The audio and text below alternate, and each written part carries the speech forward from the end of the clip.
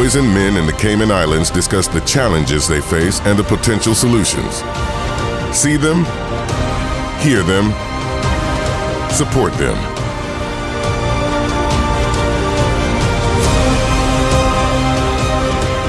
November 19th, Camana Bay.